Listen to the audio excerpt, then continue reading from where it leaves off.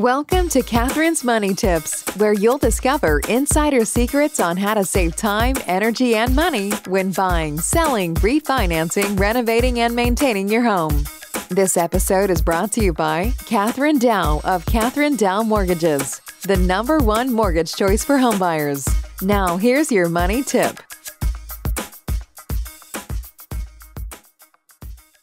When you buy a home, you'll probably be asked if you'd like mortgage insurance. But if you already have life insurance, do you really need mortgage insurance too?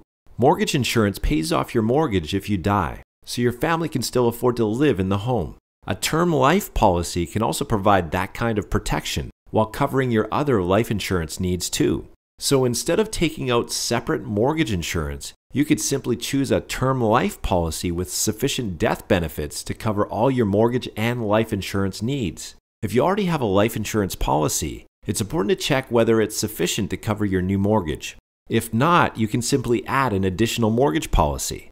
Then, when your home is eventually paid off, you can let the mortgage insurance expire and just keep your life policy. Deciding how much insurance you need to cover both your mortgage and your life can be difficult you can try one of the many free online insurance calculators, or we can introduce you to a trusted local insurance expert for a free consultation.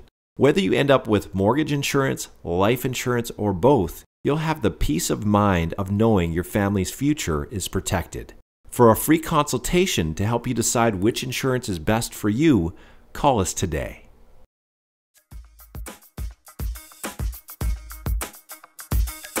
Thank you for tuning in to this episode of Katherine's Money Tips. If you have any questions or comments, please call Katherine today at 613 501 6638.